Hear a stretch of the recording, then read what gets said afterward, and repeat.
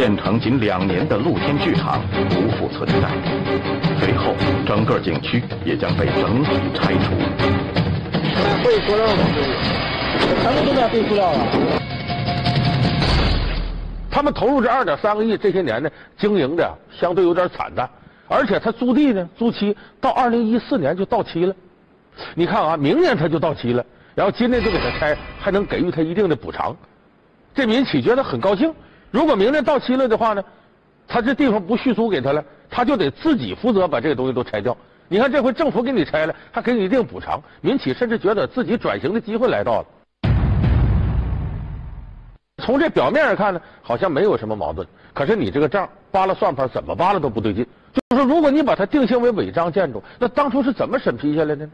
因为投入了二点三个亿，最后这些建筑没了，这毫无疑问，这是一种浪费啊！那根据这投资量一多多愿意，这咋咋能不可惜？反正就是老百姓觉得拆了非常可惜，非常可惜，而且很很大的浪费。所以有的人说说这个事儿啊，当初规划有问题，可是这么些年来，我们看全国各地这种现象可不少啊。像最后把这个项目要整个都拆掉，这种事儿在全国不少见。你看那个，呃，我知道两千零八年时候，成都把这个古代那个大慈寺啊重新复建，大概投了四千多万呢，建了一片仿古建筑，结果到二零一一年拆了。传说中，成都大慈寺是唐玄奘的讲经所之一。曾多次毁于冰火，又几番修缮如故。二零零八年，成都市锦江区投资四千多万元，仿建了近万平方米的大慈寺历史文化街区。然而，在建成后的三年里，却一直闲置。旅游景点那些房子，没人在里头。现在有游客吗？有游客吗？二零一一年，锦江区政府将仿建的大慈寺历史文化街区拆除。并以二十亿元的价格卖给开发商建设商品房。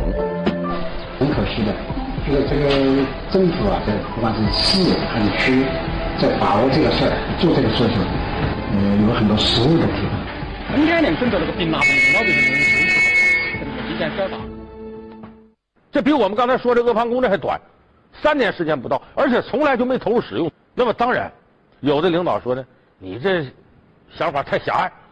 啊，只有这个大拆大建，才能创造就业机会，才能拉动经济，才能发挥土地效益。他说这个有一定道理，可问题是呢，这个是以不浪费为前提的。你大拆大建，这个在国际上很有名的叫破窗理论，就说比方说这栋楼里头有个窗子，啪被打破了，被打破了之后呢，有人得来修啊，有人就琢磨了，这窗子一修呢，你看修窗户这人挣着钱了，再换个玻璃卖玻璃那人挣钱了。接着就会有更多窗子被打破，说这不就创造价值了吗？创造财富了吗？创造就业机会了吗？其实这是一种啊非常可笑和荒唐的算法。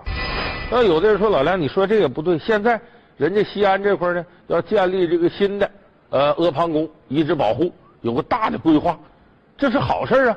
再说人家说了，这个遗址公园建完了之后免费对外开放啊，人不向老百姓收钱呢。各位，这里头的文章。可能您不了解，阿房宫本身其实就是个子虚乌有的概念。为什么这么说？你看有的地方建呃什么这个元大都遗址公园，像这个秦长城遗址公园，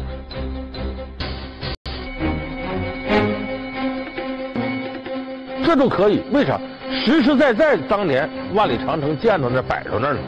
可是阿房宫呢，它是个虚的概念，它压根儿就没建完。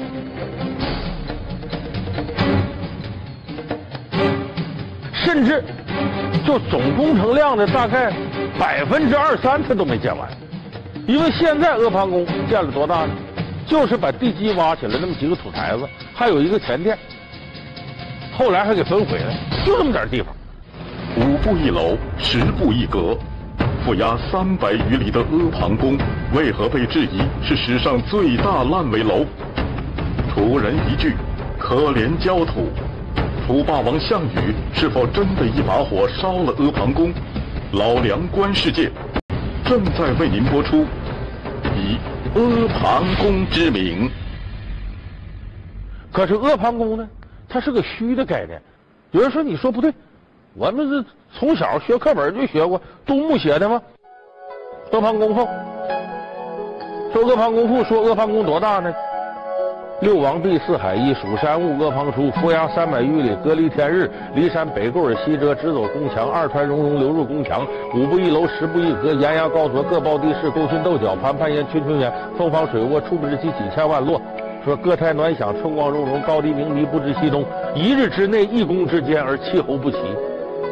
说的什么意思？一天，啊，就这一宫，宫殿里头气候不一样，这是春季，那边刚初夏，都这样。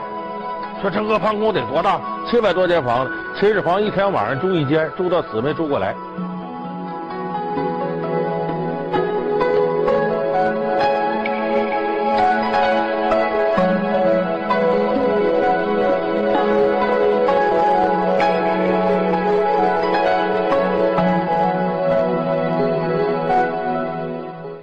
是不是真事儿呢？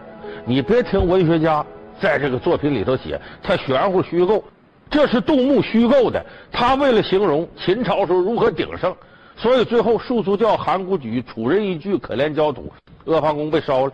阿房宫，可恶的阿房宫，你把我的庙宇拆到哪儿去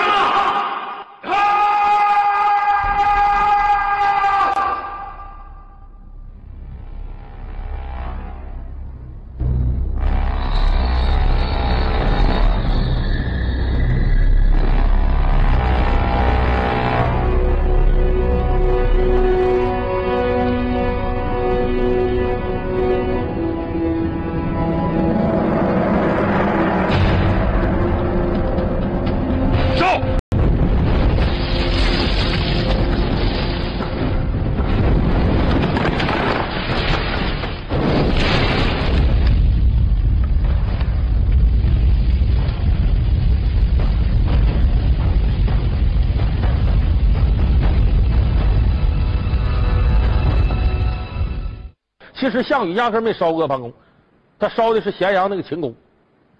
反正项羽残暴都推他身上了。假设这个阿房宫要确实建成了，又被项羽一把火给烧了的话，那在阿房宫这个废墟上就应该形成一个很厚的那么一层灰烬层。啊，这灰烬层里头肯定有很多没有完全烧尽的木炭呐、什么的，烧焦的木块。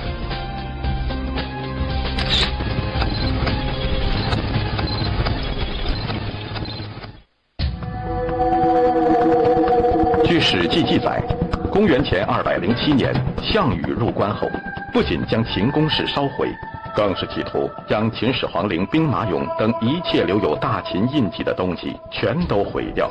但是，据专家分析，如果项羽火烧阿房宫，大火整整燃烧了三个月，那么考古学家在阿房宫遗址应该会发现火烧的痕迹。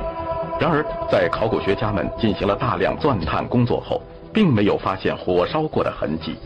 还有就是房屋和房屋呃旁边的空地上和那个花池子里边，呃猪圈旁边、厕所旁边全都进行了呃钻探。在这么大的面积的钻密集的钻，一平方米五个钻孔，这么密集的钻探上面都没有发现一处有火烧，呃火烧的痕迹。那么，阿房宫的遗址中找不到火烧过的痕迹，说明什么呢？就是通过我们科学的考古工作，就是说我们得出的这个结论是完全正确的。所以我认为，嗯，项羽没有烧阿房宫这个，没有烧前殿阿房宫，这是肯定的。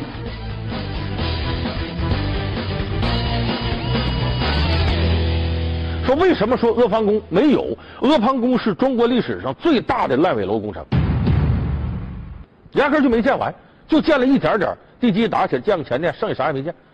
有人说，你说这有科学道理？你看，我给你解释，你看，阿房宫负压三百余里，按它这个规模来看呢，大概是十五万平方米左右的建筑面积，圆明园十六万平方公里。有人说，那圆明园都建起来，阿房宫差啥？你别忘了，圆明园建了多长时间？圆明园是打清康熙四十八年建的，经历了五代帝王，延时一百五十年，圆明园才建完。